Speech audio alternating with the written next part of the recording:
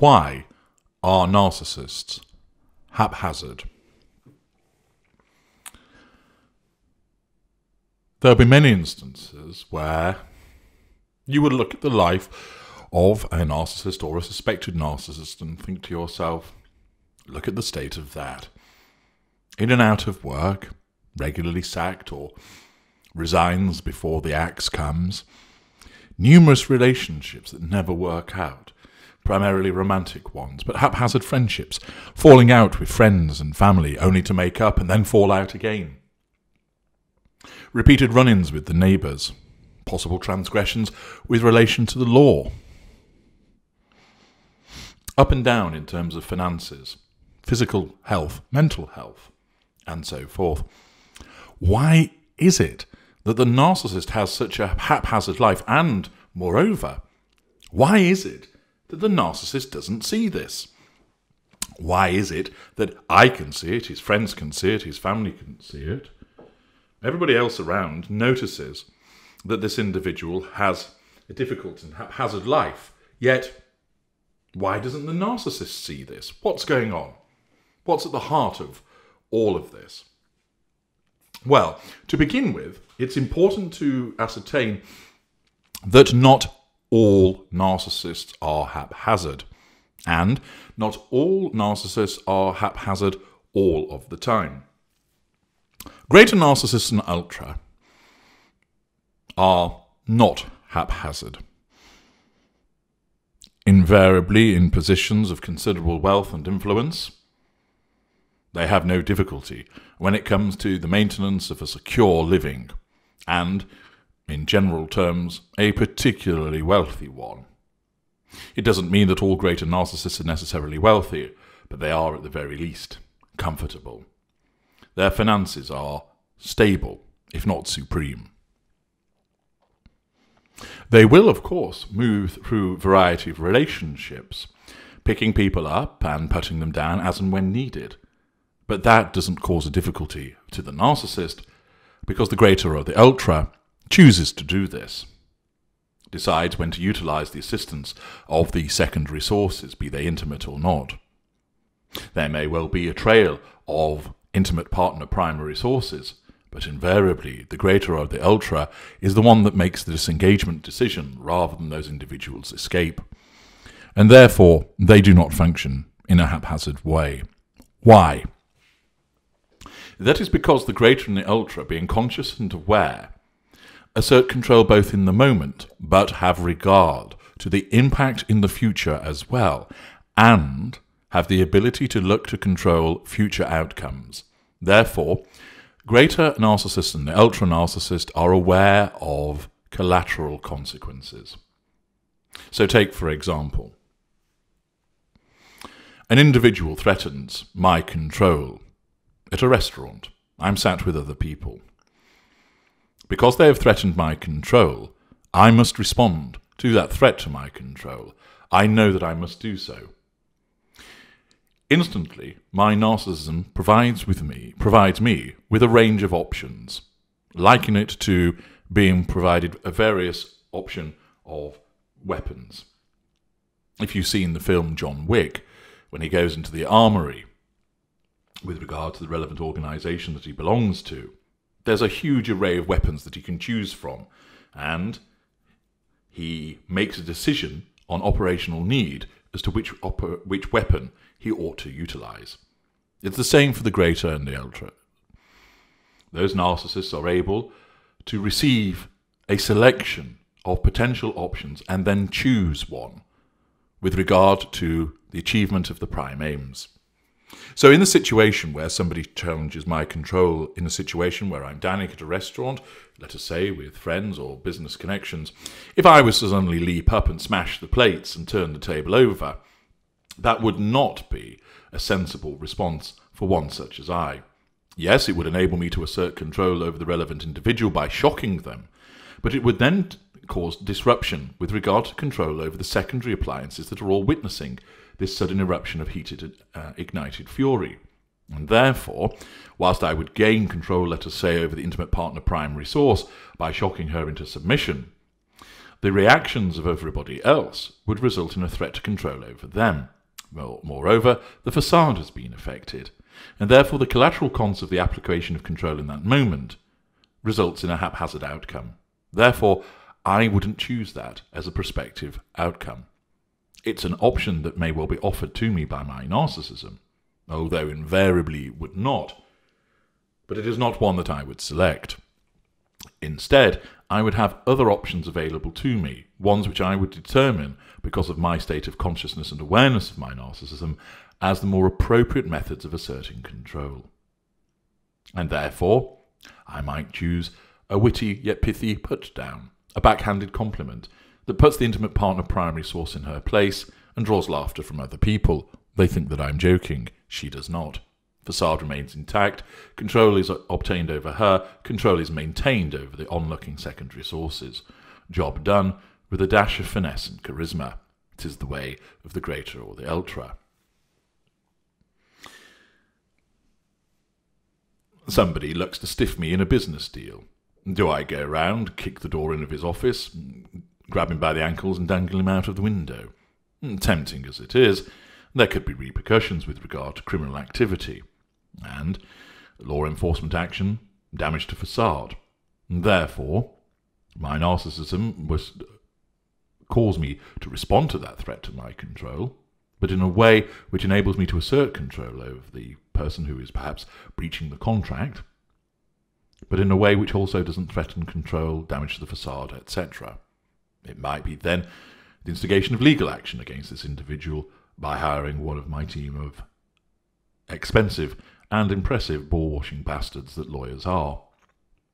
Alternatively, I might deploy some subtle manipulation, some form of emotional or financial blackmail, done through the offices of others so that it is not connected to me, causing the individual to think again with regard to seeking to stiff me on the business deal. Facade maintained. Accountability rejected. They cannot trace it back to me, although they know that it is me that is behind it. Control has been asserted. There are a variety of ways, and that is the situation with the greater and the ultra. We have the capacity to ensure that we assert control in the moment, as well as to maintain an absence of collateral adverse consequences and to plan for future events. And that is why we are so rare. Thus, that is the situation with greaters and the ultra. But what about the more common narcissists, the lesser and the mid range narcissists? What of them? The reason that they are so haphazard is that their narcissism is focused upon the prime aims, and the two most important aspects of those are fuel and control. Fuel is the rule, control beyond everything.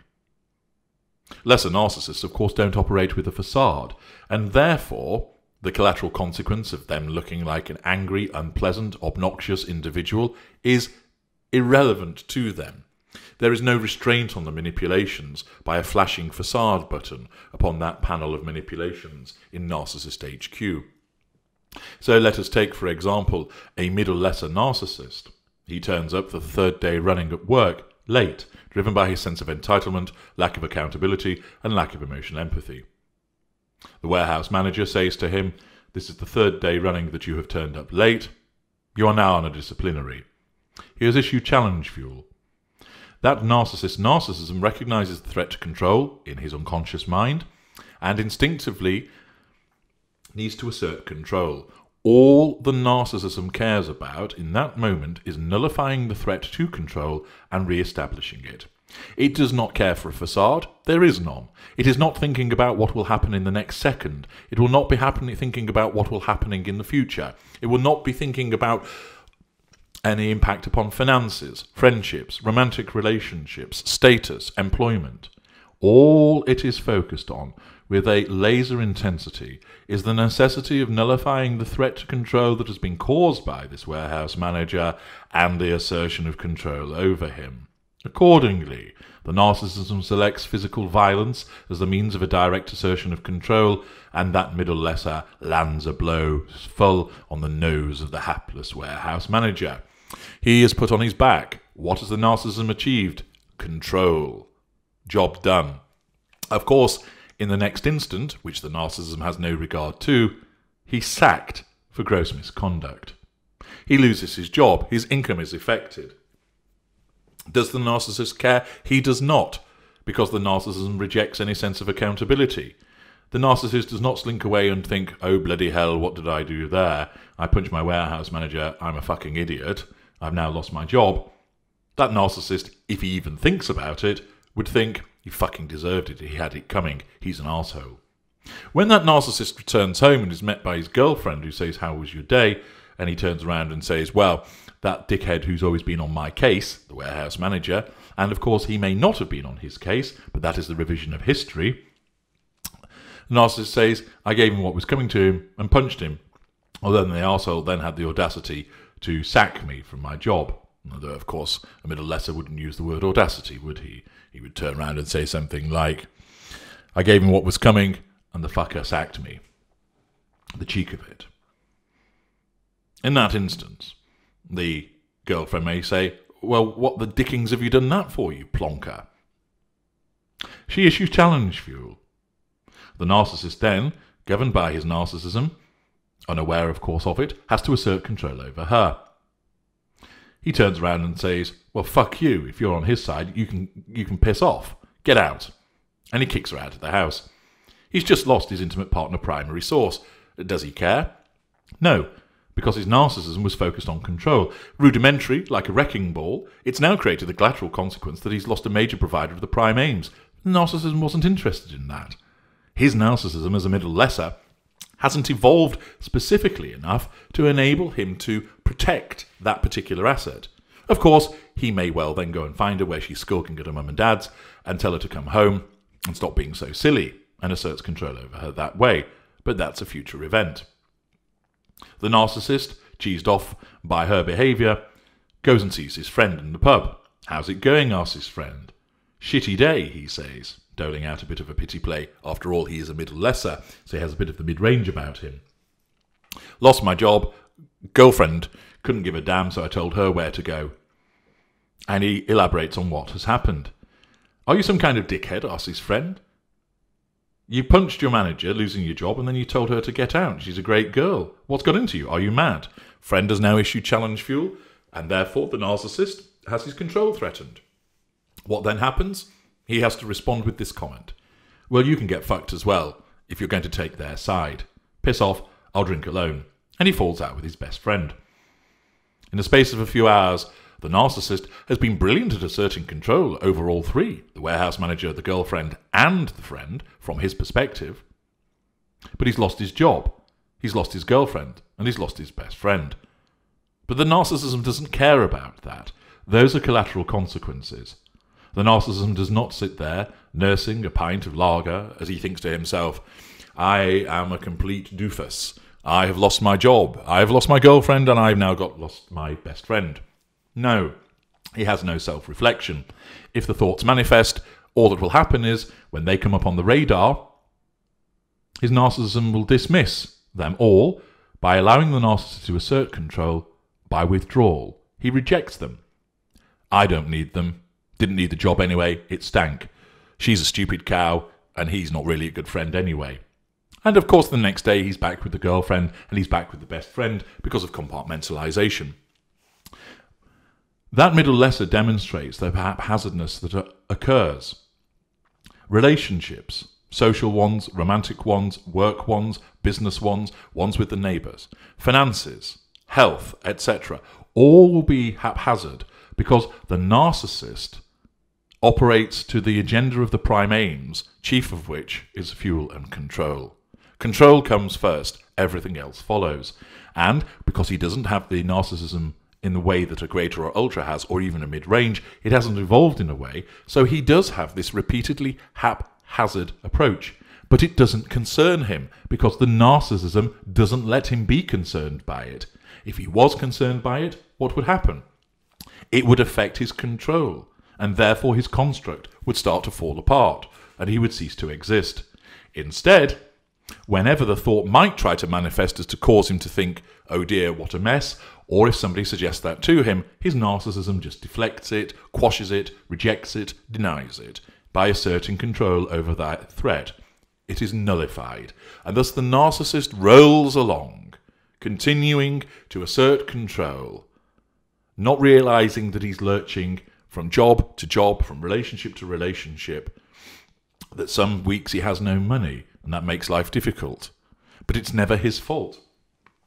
If you were to sit down with that narcissist and say, Look, you've had seven jobs in six months. What does that tell you? He won't say, I'm a difficult employee and have a real problem holding down a job. He will just turn around and say, Most employees are assholes. I can't help it if they can't handle me. It's never his fault. And thus, the haphazardness which occurs in that narcissist as a consequence of his narcissism doesn't trouble him in the sense of any recognition.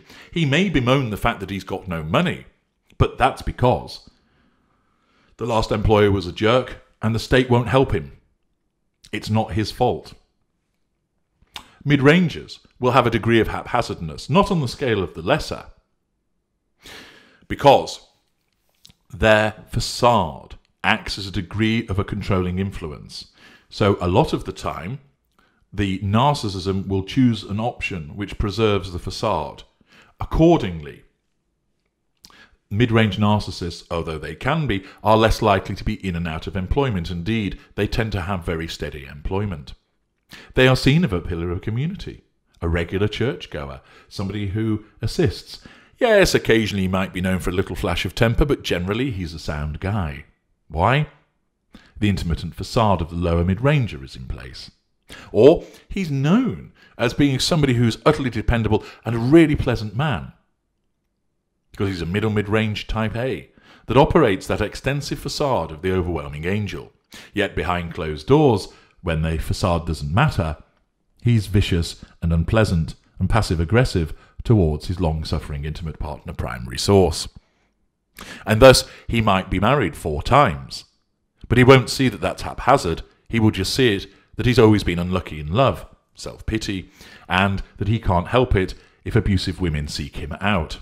His narcissism rewrites history and tells him that he is the victim. Accordingly, not all narcissists are haphazard. Greaters than ultra invariably or not. Even where you might see some haphazard relationships, that does not cause any adverse consequence for the greater or the ultra. They chose for it to be that way. With mid rangers, they are haphazard to an extent, but the presence of the facade manages to control a lot of their behaviours so that they stay in jobs, that they maintain friendships, that they come across as generally decent and respectable. But in the background, where the facade doesn't need to operate, there might be a scapegoated family member and invariably a devalued intimate partner, a primary source. Remember, ultimately, however, that the facade may have to give way to the issue of control. Often it does not, because there are other ways that the narcissist can assert control without damaging the facade.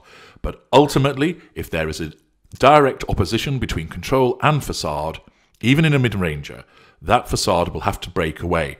And that is when you sometimes do see a mid ranger go berserk because they had to to gain the all important control because no other option was available and the facade had to crumble. But more usually, it stays in place, reducing the level of haphazardness and quite and with all narcissists, the mid ranger will never ever see that it is their fault. Indeed, if you were to point out, similar to the situation with the lesser, why is it that you've been through, let us say, four jobs in two years, if for instance it's a lower mid ranger, that narcissist will give you an explanation for each company as to why it didn't work out. Well, at that place, they were going through redundancies. I was just lucky that I arrived at the wrong time. There, my boss took against me because I was better at my job than him, and therefore he felt threatened by me. In that instance, I was the victim of trumped up allegations of sexual harassment, so that's why I had to leave. And with regard to that company, well, they weren't paying me enough, so I decided to bail. He doesn't see that it is his own nature that has resulted in the loss of employment on those four instances. He doesn't see that this is haphazard. All he sees is that he was the victim in each and every instance, his narcissism convinces him that everybody else is at fault and not him. With the lessers, they are the most haphazard of the narcissists, with tumultuous roller coaster rides through life. In essence, control and fuel must come first, everything else follows. And with a less evolved narcissist, this means that you get that haphazard routine that exists in relation to them. I'm H.G. Tudor. Thank you for listening.